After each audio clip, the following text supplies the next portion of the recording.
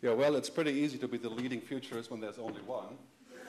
Uh, so thanks to the Wall Street Journal. Um, thanks for inviting me. It's a great pleasure to be here. Beautiful place here. So my mission, uh, and uh, I have accepted it, is to talk about monetizing digital content, which of course won't take very long. So um, if you're wondering what a futurist is, this is what I do. Uh, there's a Chinese saying that if you want to know the future, ask a five-year-old. And so that's what I do. I pay attention to what people are doing around the world next three to five years, looking at trends. Um, here's my Twitter handle if you want to tweet and follow me and, and disrupt what I do. Um, our clients here, I have about 100 clients around the world, including tech companies, publishers, record labels, broadcasters, and so on. So let's get right into it. Uh, you guys know what this is? It's a satellite, right? Several satellites. Uh, it's a company called O3b, the other 3 billion that's half funded by Google. And what they do is they put up satellites, low-flying satellites around the world, 18 of them, 16 already up, that will provide free internet access to the other 3 billion who aren't currently connected.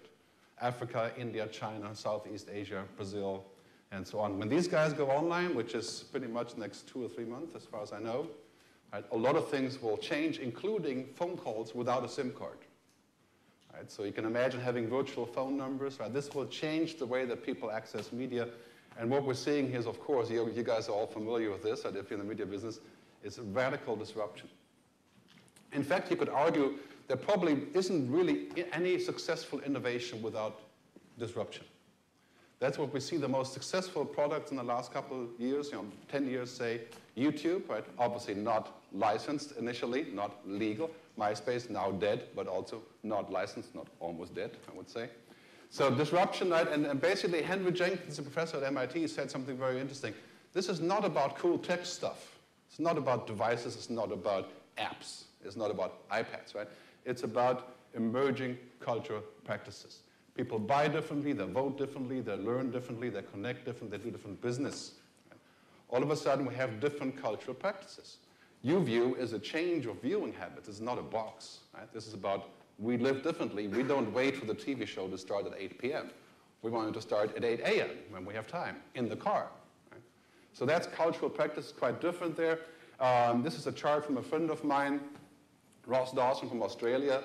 He's putting together the newspaper extinction timeline saying, you know, the US, of course, is first, uh, the most progressive here, or regressive, whatever you want to call it. 2017 in the US, you guys are quite lucky because you're, you're second. so you got another six years to go until people stop printing newspapers, which that's what he says. I don't entirely agree. But basically, this is a sort of an uh, example of disruption. Right? I mean, in the end, we have to just ask a simple question. Do we want to pay the, the truck drivers and the printers, or do we want news? Right? Do we want to pay for news, or do we want to pay for the trucks? That's where we're heading with this debate. And uh, you can see, of course, mobile data is exploding around the world. I mean, not just of tablets, but in general. I mean, the most, uh, the people who are mostly uh, online doing web search and stuff are the Africans. 6.4% of people in Africa with a mobile phone search on the web, more than we do in Europe. Right? I mean, if you're looking at this number, today a poultry is some 300 petabyte, right? In five years, 7,000 petabyte a month being consumed by mobile consumers. Right? So what will the telcos do if there's any telcos and operators here? I mean, of course, this is a big problem, right? Because basically, if you don't engage up the food chain, you'll be left paying a huge bill right, for all the throughput that people generate. So in a way, you could argue mobile data also means basically that uh, you have empowerment, right? I mean, if you go right now, you can get an app like Flight Tracker, and then you're at the airport, and you will know more about the upcoming flight than the person at the gate. Right? Or TripAdvisor or Quip. I mean, this is all about empowerment of consumers. Right? I mean, if you have Spotify, right, why do you need to buy iTunes? I mean, it's empowerment. You can listen to anything you want. So that's what's happening in the mobile data. And uh, if you take one slide from the upcoming report here, looks kind of hopeful, right? But it's definitely not a magic wand. I mean, people spend money on apps between 3, 5, 10, 15 pounds last three months, yeah. Quite interesting. Uh, in America, the average iPhone user spends $4.80 a month on things like divorce apps and those kind of interesting things. You know. There's 10 of them, by the way, if, if you should be in the need of them. Um, too late for me. But um, what's happening, and it's not a magic wand. I mean, look at uh, Wired Magazine, Cosmopolitan, and all the, you know, the hopes of selling apps didn't pan out. First time, first Wired app was 100,000 downloads or something, $5 each, and then it went down to 50 and 20 and 30, and now it's what, uh, five? Yeah. So repackaging and selling it per, by the unit probably won't work. Because basically what we have now is this big shift from the, this box here and these boxes here, they're about work, the computers. The future of media is not about work, it's about fun, right? I mean, it's obvious. Right? So 90% of the, of the world's internet traffic will be on mobile devices, not on computers. And that changes the equation completely because these people are different kinds of people. As Kevin Kelly says, they're people of the screen and people of the bed, as you can see here uh, from the previous slide as well. I mean, this is not the same than using the web on the computer. And that's our future. So now we're heading to a future where we're going to use whatever screen is available. So in the car, we have it on the back seat. At home, we have HD. But it's the same virtual jukebox. It's the same cloud that we're going into. That is the crucial part. And so the, the new money is sort of in the connection of the cloud and the crowd. I mean, how do you put the two together? Right? That's where the money comes from. It's not saying you can't listen to this show now because it's not available here or there or here, right? I mean, these kind of models are sort of walled garden models. It's all about the cloud. I mean, you guys know about cloud computing, but cloud media is where everything is going. Absolutely everything, including education, learning, e-health, money. You know, money obviously is content, some sort of form of content. So everything moving into the cloud, as you can see here, 91% of Chinese internet users are using over-the-top television. They actually, of course, they don't have cable or satellite in many places, right? so that's their choice, right? But that's what's changing. Amazon just launched a cloud computing mechanism for music, and of course, you know, first thing is that uh, labels aren't very happy about this. Right? So now you have Kevin Kelly saying, a very smart guy, co-founder of Wired, he says what's happening right now, very important, we're moving away from pages, PCs, today, to streams, cloud, now, we, and data. There's a huge difference here is when you look at streams, then you're inside of a stream. You don't have to keep it. Right? You don't have to buy a copy. It's enough if it streams. Go to a party of a 15-year-old kid. It used to be 100,000 songs downloaded for free and very happily downloaded for free uh, on the hard drive. Now it's nothing, it's a playlist on YouTube. Music comes from a virtual playlist. There's no downloads. So why are we pursuing the downloaders? I have no idea. Right? Because you know that was five years ago. People aren't downloading anymore. I have news for you. So basically, we have to think about the cloud.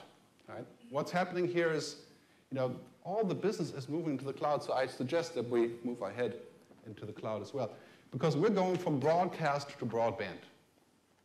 And not to say that broadcast will go away, it will not. Right? But it will completely overlap with broadband. So going from the scene of the old television, three important things here. People have a huge amount of choices, diversity, complete fragmentation. You can watch TV shows about fixing a motorcycle all day long if you want, or pole dancing for that matter. Right? Whatever it is, right? Or you can watch cable TV. But I had this argument with my wife for five years. I want to get rid of cable. I don't need it. Everything I want is somewhere on the web. And in most cases, legal, actually. So then we have this, and we have this. You know, we're now connecting with like-minded people. Great book by Seth Godin called Tribes. We live in tribes, in virtual tribes. My Facebook friends are the ones that tell me what I should read or look at or which movies are cool. Right? And my Twitter friends and many others. And of course, all of that stuff is mobile. I mean, this is, of course, the most important part, right? I'm not sitting at home in my office, you know, thinking about media. So that's what's happening. Uh, out of this comes a simple deduction. If you're in the media business, it's all about curation. Because the noise is going to be deafening. I mean, wait till 3 billion people go online in Brazil, Russia, China, Indonesia to generate their own content. Right? Talk about bloggers, music, uploads video sharing, photo sharing, right? The noise will be deafening, so we need more curation, more people who are very, very good filters, professional filters. Right? I mean, that's what broadcasting is all about, obviously, being a filter. So we're moving in this world from, uh, from me, you know, the monopoly, the uh, central entity of broadcast, into a world of we. And this is what Facebook is doing for us, for example. That's why it's so successful. Facebook is a broadcaster. Facebook is broadcasting you to me and me to you. Right? And what's coming next with Facebook, I'll show you in a second. But basically, this is dumb. Right? I mean, dumb in the sense of this television doesn't know who you are and doesn't care. But this television knows who you are. Scary part, too. Right? So they can serve you better ad. I mean, every, every single television will be connected to the internet in the very near future. And we have this, right? We have a huge amount of data from what we do there. And we have roughly a $1 trillion budget of advertising, marketing, public relations, data mining, all the interesting stuff. That flows into this direction, into smart ways of advertising. So now we're people of the cloud. This is gradually coming to be uh, reality for most of us. And, and as Jeff Jarvis says, it's about linking. I mean, the interesting part is that I'm sort of a program guide for some of you, and some of you are program guides for me right? depending on, you know, I want to read books or look at movies and so on. So now we're interested in this. We're interested in making it a fluid, simple, easy experience. We're not interested in free per se, because in Western countries we have more time, more money than we have time. I mean, ask yourself, if you would spend the money to save time, you're always going to end up spending the money. And that's the big difference. Right? We haven't figured out how to get money from people by saving them time and giving them quality. Right? That is the real issue. So now we're here in the cloud generating data, and as the World Economic Forum has just put out a very interesting report on personal data. I said this many times before, it's not from me, but widely used. Personal data is the oil of the internet. It's the currency. Google makes $3 billion a month reading your email. Gmail, right? running ads against what you do there. Personal data is where a lot of that stuff will come from, and 75% of all content has always been funded by advertising, which is called data. So if you're worried about getting funded for content by advertising, don't be, because so far it hasn't worked out because we were on these boxes. And we were not really truly connected. We were working.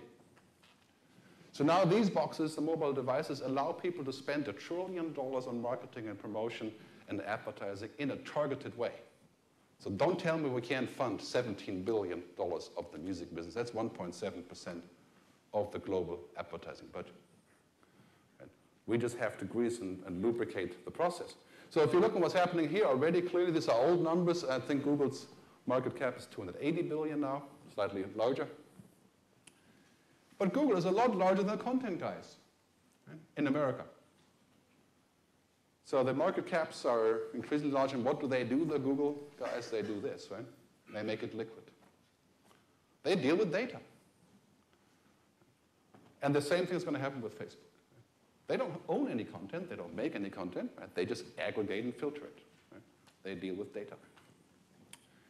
So now as social networks, I said before, they're becoming broadcasters. Facebook will go public next year, probably the biggest IPO ever. And guess what they're going to do? They're going to add television, books, music, content. They're going to become real broadcasters. I mean, not in the sense of real us broadcasting us, plus other content, right? You can already watch major uh, studio movies on Facebook. But the killer will be two things. Facebook will give us a free mobile phone without a SIM card, a free mobile phone right, to connect to the network. And the second is Facebook will make movies and films, uh, television shows, and music partially free. Because they have all of the great advertising data that people are looking for. Just like cable TV used to have. So stats that people do on Facebook, you'll see in the report, right? I mean, very interesting, interact with people, upload stuff. There's a huge amount of stuff. It's all about fragmentation, and people use this for different purposes. So now you can argue Facebook is cable TV without the cable. Lucky them. They don't have to spend the money on satellite, somebody else does, right? But what are you going to do about it if you're a mobile operator? I mean, look at this graph showing Facebook growing to be just as important as Google. You can watch Al Jazeera on Facebook. You can connect Facebook to Amazon to do so, so-called social shopping. You can watch Batman on Facebook, and Zuck says he's going to turn the television, film, and music industries upside down. And he's not joking. So that's what's coming with Facebook's IPO and with uh, roughly 1 billion people connected to Facebook in a year, within a year, the end of the year. Uh, as of today, 21 billion minutes spent per day on Facebook. If you're not broadcasting on Facebook, you're in deep trouble. Facebook is the platform, one of the platforms. So the Facebook monster, as Zuck says himself, he didn't say Facebook is the greatest way to waste time or to meet girls or whatever, right? What it used to be, or, or to meet kids, right? He said we have the most powerful distribution mechanism that has been made in a generation. And I think he's wrong because it's the most powerful attention platform, which amounts to the same thing, right? Because today is no longer about distribution, it's about attention. The real battle today is not about getting people not to download or to pay for it or all these things, but to pay attention to what the hell is it that you're doing. Because when you have attention, you can always convert. I mean, look at Netflix. You guys know Netflix, UK service, US service, right? $10 a month for movies, 22 million subscribers. It's not about distribution, it's about attention. It's about the like button. Right? That's a mental form of distribution. So now Kevin Kelly says we're becoming people of the screen, and I tell you one thing, people of the screen are not the same people than people of the book. Okay? I love books, I write books, so I'm happy for you to buy my books. But, you know, we're becoming people of the screen. There's screens everywhere. And people of the screen are not going to buy uh, media in the same way that we used to buy it when there weren't any screens. I mean, forget it. It's not going to happen.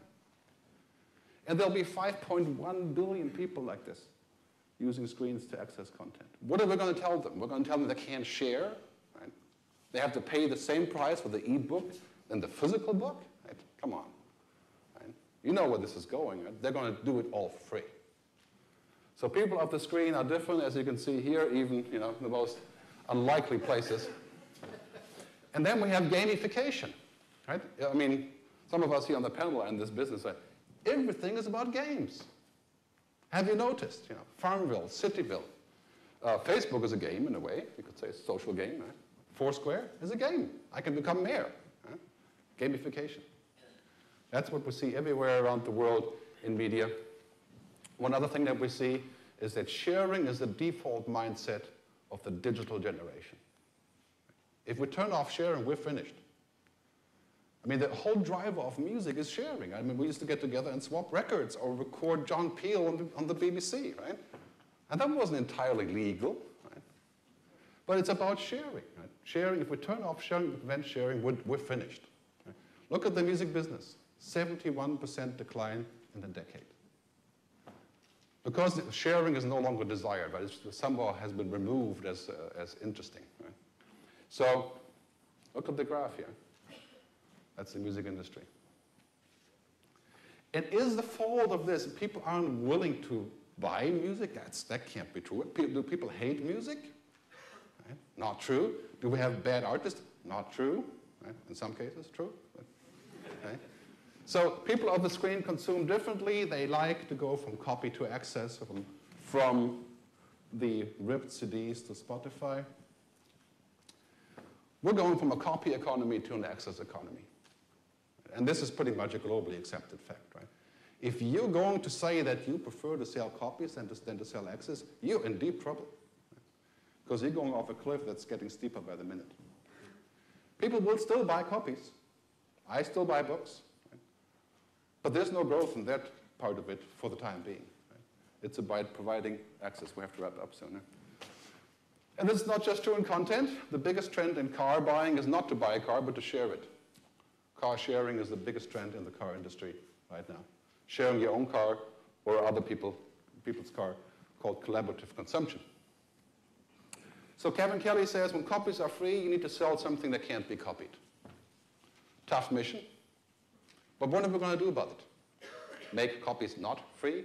Right? Then we can move to China. That's my view. But I think we need the new generatives. The alternative is to make money with that process, right? As Kevin Kelly calls it. For example, immediacy would be something like recording a concert from a band that I went to and being able to download it on top of Spotify for a premium. That would be an extra service that would be a new generative and already exists. So a couple examples on those generatives, and you should read what Kevin is say, saying about this. Immediacy, personalization, and so on. The Met Opera, you can watch live in HD in a movie theater in America. It's already working, right? People are already doing this. Right? That's extra. That's a premium service that we can sell. Al Jazeera has a social context that makes us come to Al Jazeera, not to CNN, right? Because they're using that on the screen. You can watch Major League Baseball on, face, uh, uh, baseball on Facebook. That's an added value. You can use these fancy maps at CNN Money. You can connect Amazon to Facebook. You can uh, look at the Matrix, what happened with there with this whole interactive uh, storytelling approach, and you can make your own movie about Michael Jackson. So all these approaches are extra services, many of which can be charged for. And they don't become copyright. You can't copy an experience, you only copy a file. So how we compete with free? I mean, if I got a euro for each time people ask me this, I would be a very rich man, have my own private jet uh, like, like Alexander does. Um, so that's the question. How do you compete with free? Well, clearly you make a better service. Netflix is better than free movies. It's $10, right? But it's better. It's better, quicker, cleaner, and the price is right. Ask yourself a simple question. Would we be dis discussing piracy for music if the song cost 10p? We wouldn't. Do we want it to 10p? No. But if we can sell it to absolutely every person in Europe, we're talking about 900 million people, right? 40 songs a month. That sounds good. Let's do that. Pricing, service, likable brand. Likable brand. That's important. Timely contextual interface, better tools. It's not that hard. I mean, lots of people are doing this. O'Reilly Publishing has a service called Safari Books if you're into text, uh, tech books, you know, reading about programming and stuff, they sell you access to 5,400 books online for $49 a month. It's a flat rate for books. It's the biggest thing they've ever done, and it works out great. No DRM. Okay. So there's lots of examples here. As I was, look at the curve of Netflix growth, right? Netflix has grown so quick and so fast that now the studios are saying they don't want to license Netflix in other places or in a certain window because it's too successful competing with cable TV. That's called having your cake and eat it. Uh, anyway, we're moving into a future with the topic of my first book, Music Like Water. It's reality now. Right? Give you just one example. TDC in Denmark, it's a mobile operator and an ISP. They have bundled free music into access to the web. So when you buy a DSL from them or the mobile phone, music is all included, no questions asked. Everything. And guess what? The biggest selling factor, I think they paid something like 15, 20 million euros to the rights holders in Denmark. Biggest selling factor is this. They have reduced the churn rate by 50%. Do you know what that means in terms of money? 50 million. So don't tell me that we can't get ISPs and operators to come to the table and say, let's make this together into a fruitful business. We just have to allow it. I mean, obviously, they have the motivation to do this, to bundle things. Right? So uh, we've got to get to the end here. So uh, a kind of depressing slide here. When you ask people would they pay for content, about 80% said, I wouldn't. And the other 20% are lying, they wouldn't either. so the question is not to ask people, would you pay for content or do you have 10 quid for music, right? The, the question is we have to do some better packaging, some bundling, right? I mean, this is clearly crucial, bundling and upselling. It's not new. The most successful content business is the gaming business because that's what they do. Download the first 10 levels for free, get completely stuck, you spend 50 hours and it's just 20 quid to get the next, you know, unlock your new weapons or something, right? right? So this is crucial. That's what we have to do. Not ask people, would you pay now or go away, like the paywall, right? That's like, you know, my way or the highway, so I'll take the highway. That's the idea of saying, okay, freemium, free, feels like free. That's sort of academic because in the end, we're trying to get people into the bundle and into the upselling. If you have nothing to upsell to, then you're in deep trouble, right? because it's just all free. But that's basically what's happening now. So we're moving to a thing called the telemedia ecosystem. I talk about this a lot because many of my clients are telcos and operators. It's a new system where we're all going to essentially uh, create new business models, the publishers, the advertisers, device makers, and telcos and the social networks.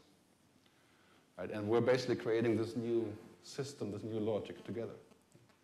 Don't forget again, I was saying earlier that 75% of all content has been paid for either by taxes, which we don't like, but they exist, right? Or by advertising. And of course, also by subscribers. Right? I mean, that's the uh, other piece of the pie here. So we need to create a new logic of usage right of permission. I think that's what we're going to see in the near future. Uh, three ways to get paid, and then I'll summarize, and then we're really onto the panel here. This is very important. Jeff uh, Jarvis talks about this, and also uh, um, Shelley Palmer. There's one way, if I blog, you read my blog, I am paying for you to read my stuff. So I'm paying for the pleasure of you reading my stuff. Right? That's called I pay. The other thing is you pay. Right? That's the New York Times. So now it's becoming a you pay sort of idea, right? But basically, media has always been about this, which is they pay. Right? Somebody else pays for me to use your stuff because they want to reach me. Cable TV, best example. If we paid what it actually cost to put the TV cable in the ground, right, we couldn't afford it. Right? It's supported by advertising.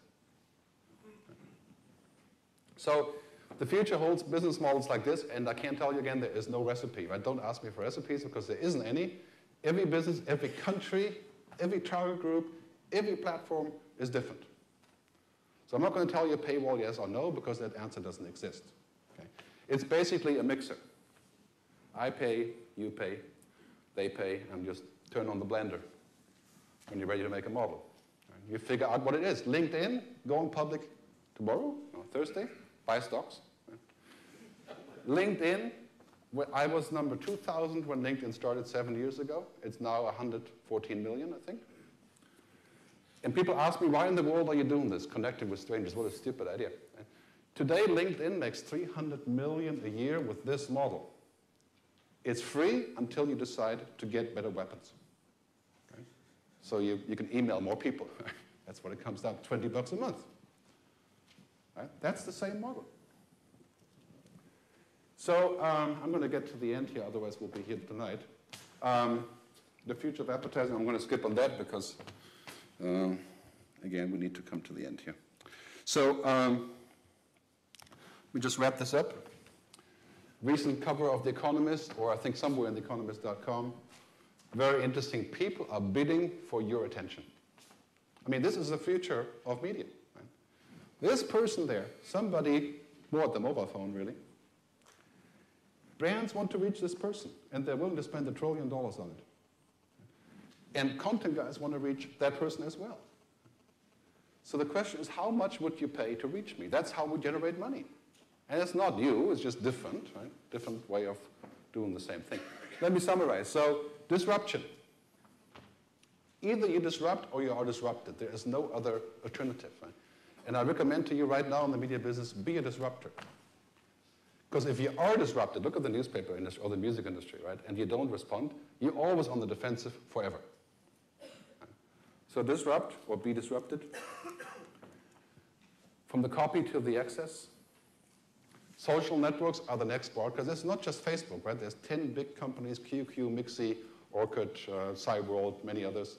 Qzone in China has 680 million, it's still the largest for the time being. So they are broadcasters. They are the next broadcasters. They're actually commissioning movie production as we speak. Netflix, Amazon, Facebook. Right? They're broadcasters. We're moving from the network, the, the network, central network, to the networked. This is really true, I think, across everything, including branding, companies, and so on. Everything in the cloud, streams, cloud, data. We're moving from broadcast to broadband, and of course, broadcast will still be part of broadband as well. Facebook is an attention platform. And this is the future of media, as far as I'm concerned, is to figure out business models that are based on an ecosystem, not on an ego system. We've had ecosystems for a long time, and they worked. Congratulations. But they will not work in the future. Right? The future is about collaborative business models. The new generatives, look up at Kevin Kelly. Personal data is the oil of the internet. So if you're somewhat involved with data, that's a good thing. And I think this is really going to be it now. Here's my books. They're all free, except for my first. You can download from my website. Thanks very much.